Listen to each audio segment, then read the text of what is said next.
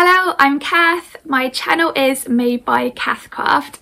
Thank you very much for joining me for this video, which is a bit of a sewing catch up. So I've got quite a mix to share today. I've got a new make that I finished this week. I've got a new pattern and some new fabric too. I've also started working on a new crochet project, so I'm going to be talking about that as well, but I'll make sure to pop that at the end of the video after all of the sewing content. So yeah, I'm looking forward to sharing with you what I've been up to over the last week and what's been arriving at my house. But I thought, um, first of all, I'll start off as ever with what I'm wearing today. And today it's actually a lovely sunny day here in the south of England, which is really nice. Just looking out the window at the moment, there's not a cloud in sight. The sky is totally blue, which is really lovely. And um, yeah, it's definitely got me feeling quite summery. But there's still a bit of a chill in the air. So today I'm wearing what feels like quite a nice summery top but with a pair of ready to wear jeans um, just to keep me cosy because it isn't that warm quite yet. But yeah, this top is a handmade top.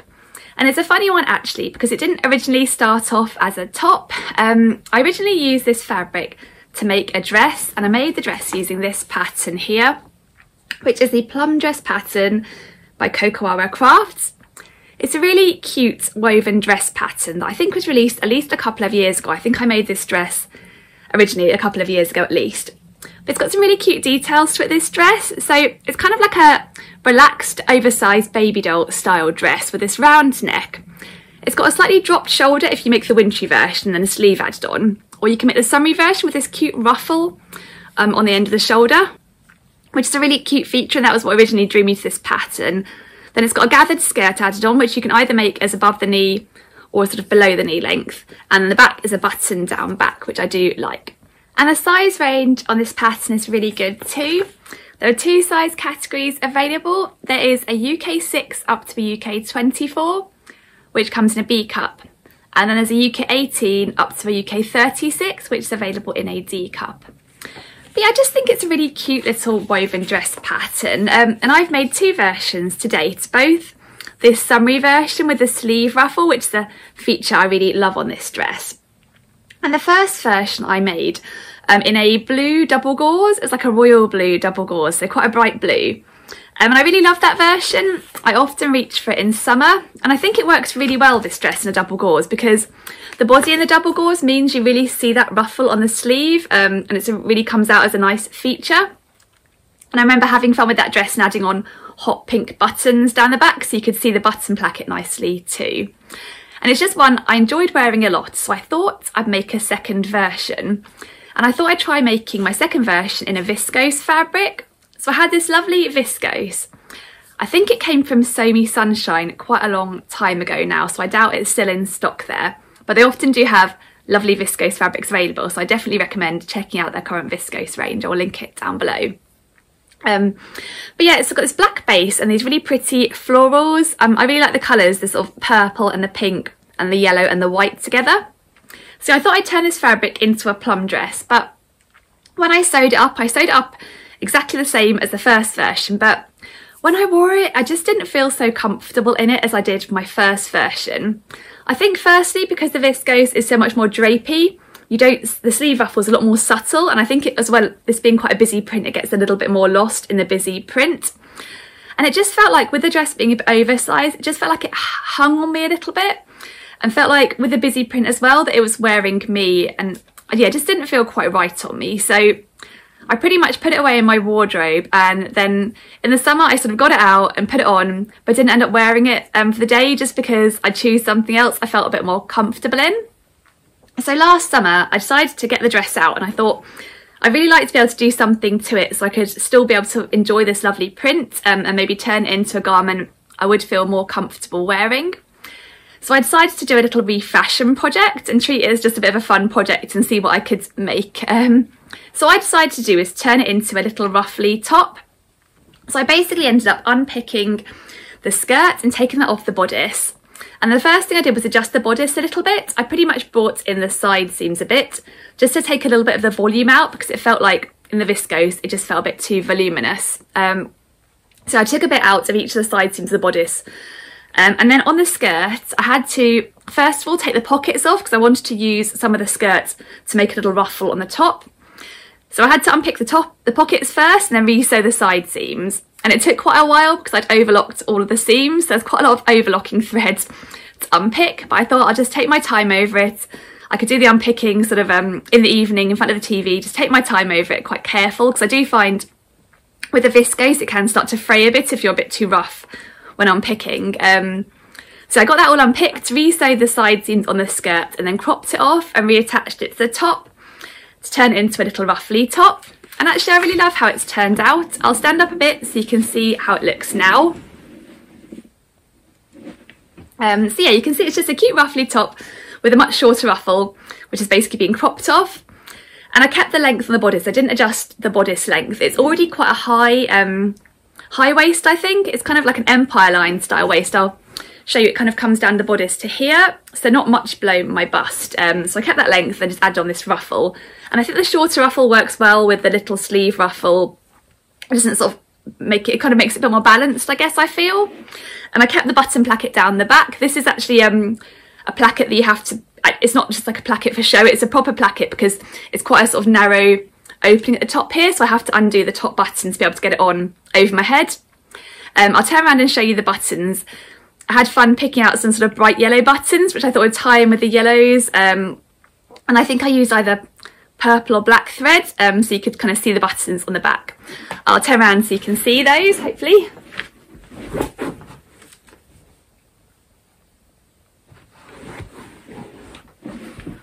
hopefully you can see those. Um, yeah, I'm really glad I was able to sort of refashion the dress that wasn't quite working for me into a top I really like. And actually this top's really nice and comfy to wear.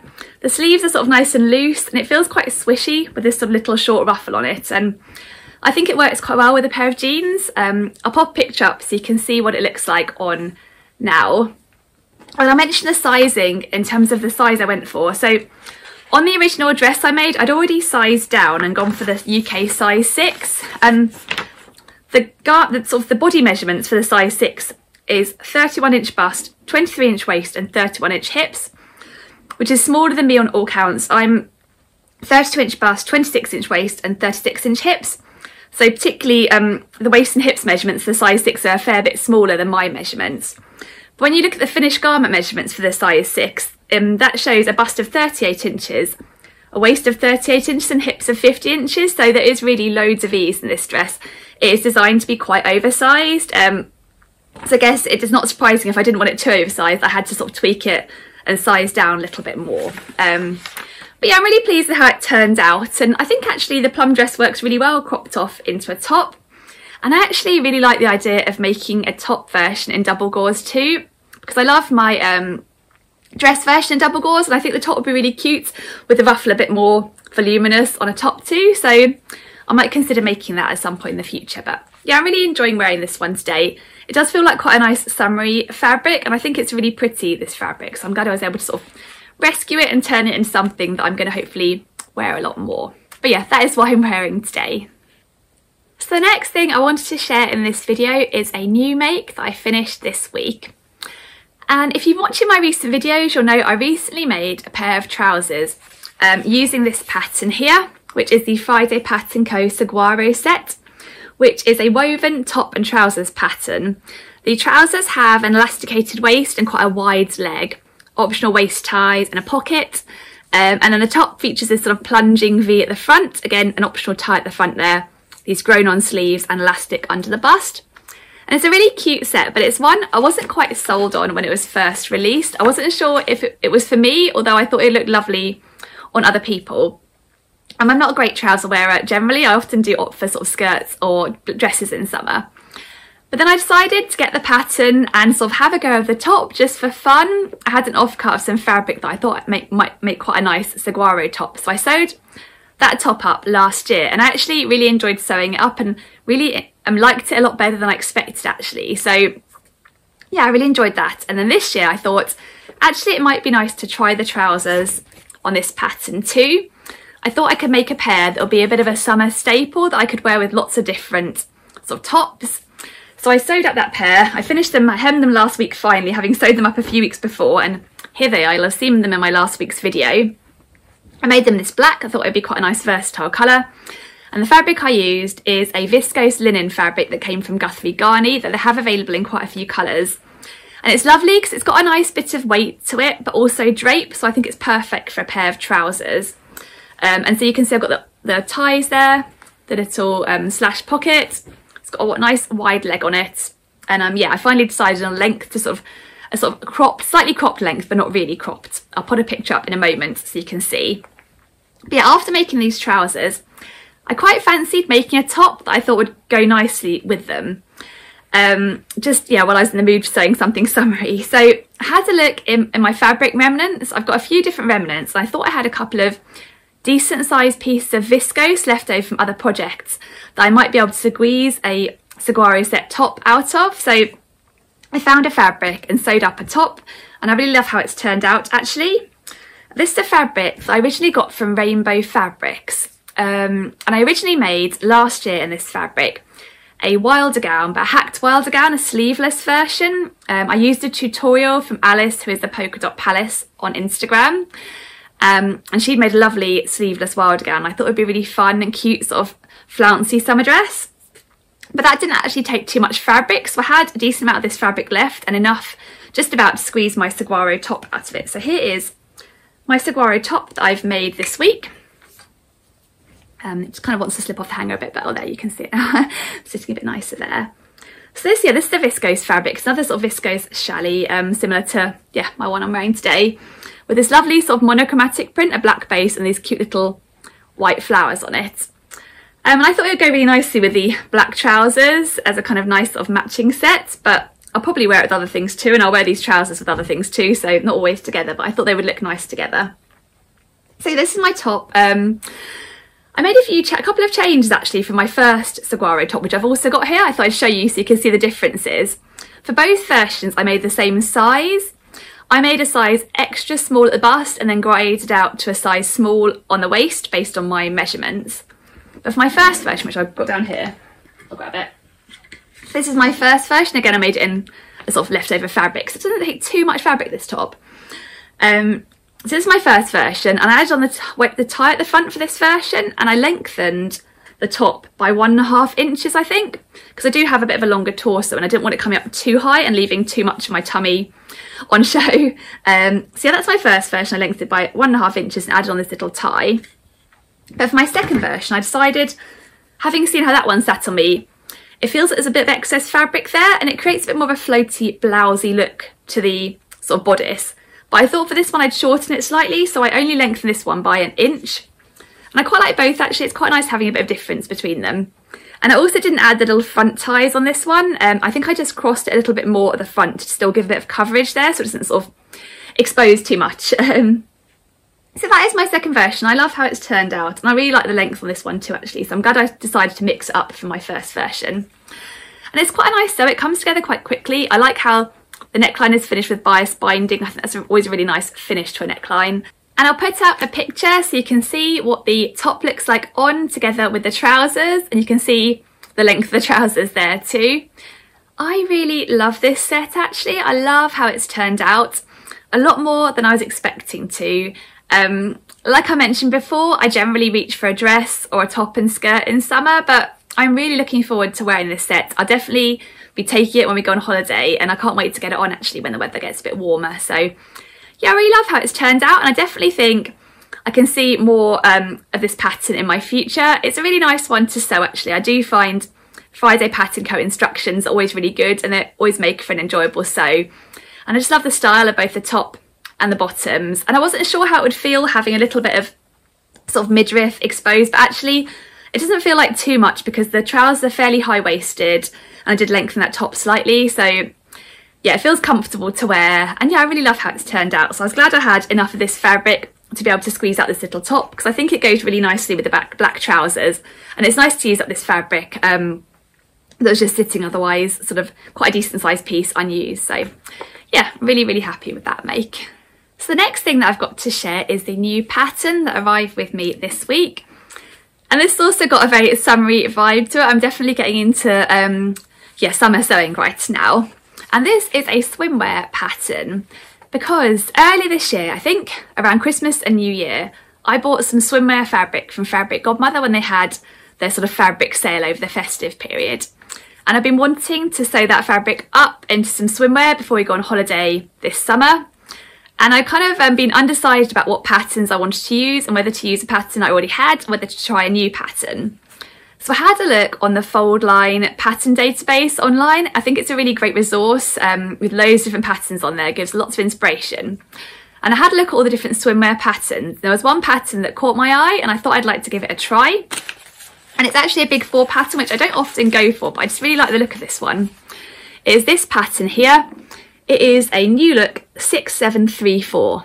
So it's a pattern, it's got a couple of different sort of swimming costume options built in and also this, I guess a kind of cover up skirt um, that's got a sort of slit or sort of it's like a wrap skirt, I guess. Um, I'm not sure I'll actually make that, but what I really liked about this pattern was this um, pattern sort of version A here, which is for this kind of cute, slightly different swimming costume. I really love the style of it, the fact it had quite quick, clean lines, but was a bit different.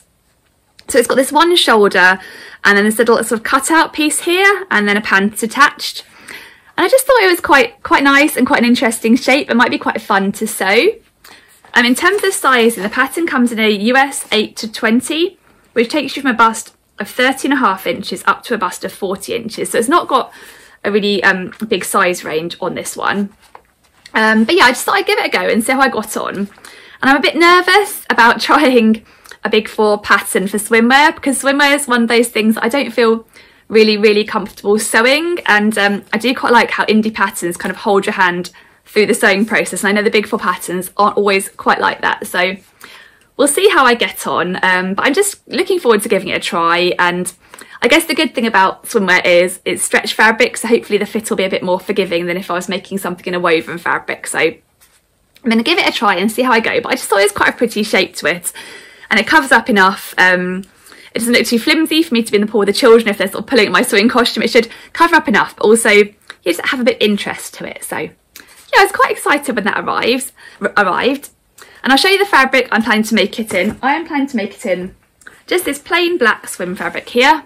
Um, it came from Fabric Godmother. I think it's a Liberty swim fabric, so nice quality. And it was quite a good price, especially with the discount over the festive period.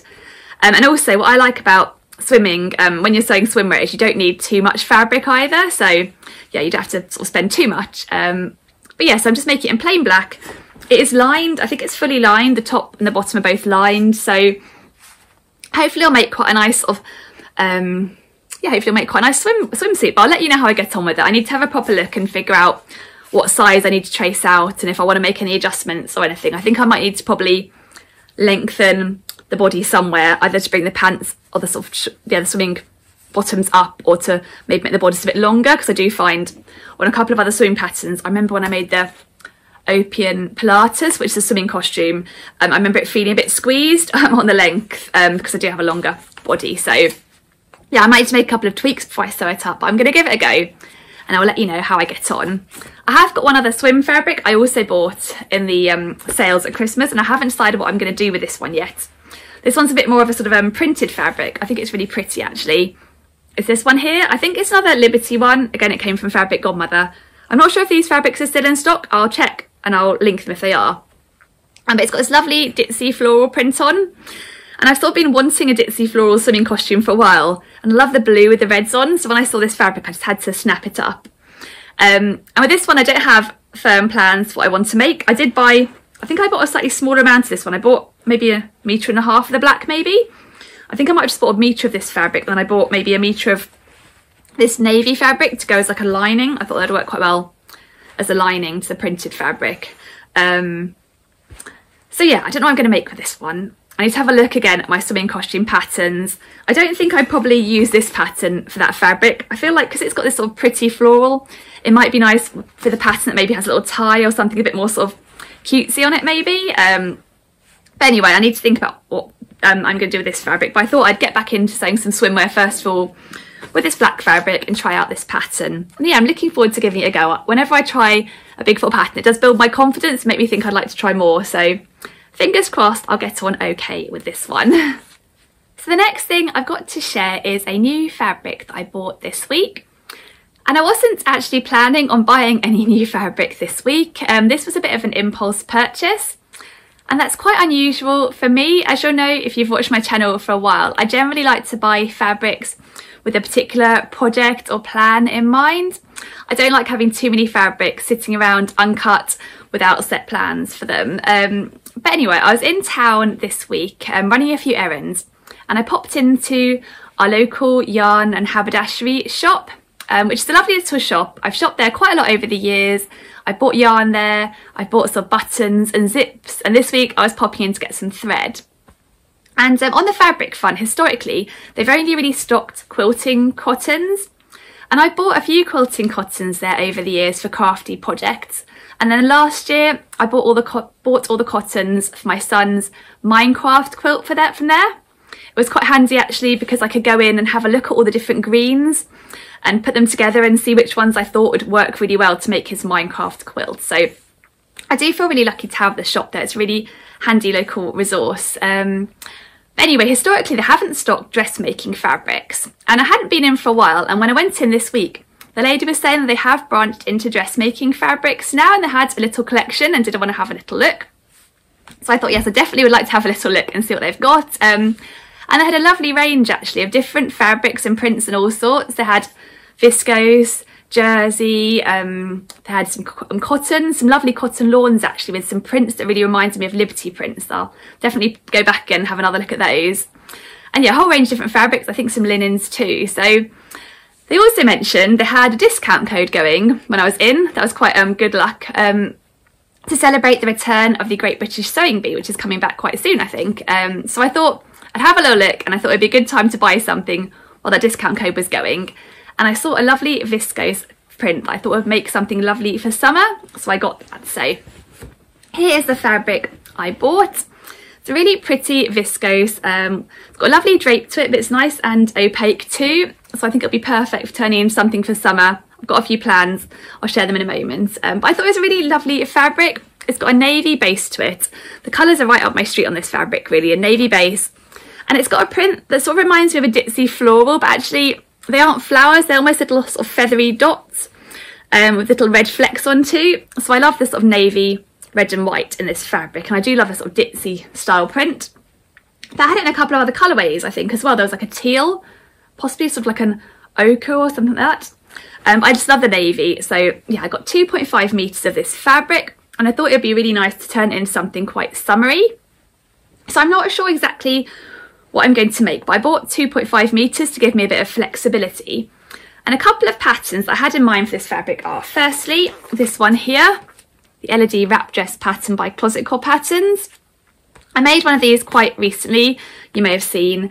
Um, I made a midi length with this sort of short sleeve version in a um, viscose, like a black viscose with flowers on.